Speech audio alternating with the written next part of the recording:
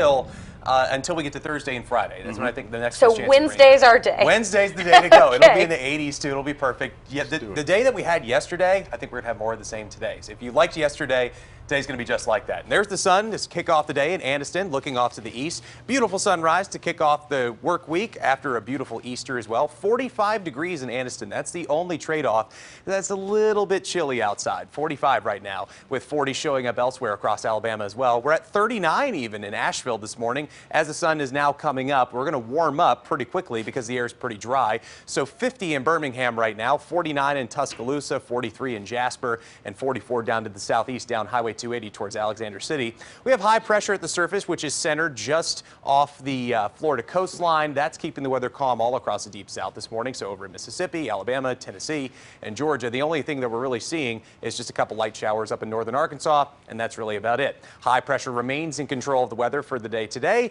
A light south breeze should help to bring the temperatures up ever so slightly compared to yesterday. So I think we'll top out in the low 80s for our daytime highs. And then by around 11, 12 o'clock, we'll have cooled back down to, I think, the 60s. But overall, quiet weather continues for tonight.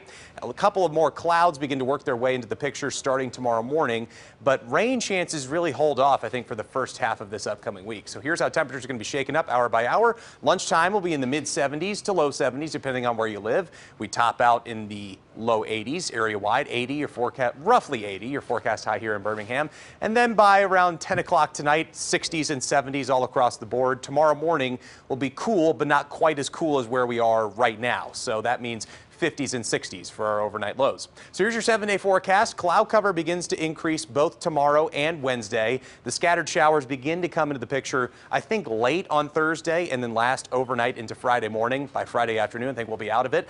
And because it's April, you have to worry about thunderstorms. And I'm not really worried about it with this. I think we're just expecting rain, and that's about it. And then we stay cloudy, cool, and mainly dry going into Talladega weekend.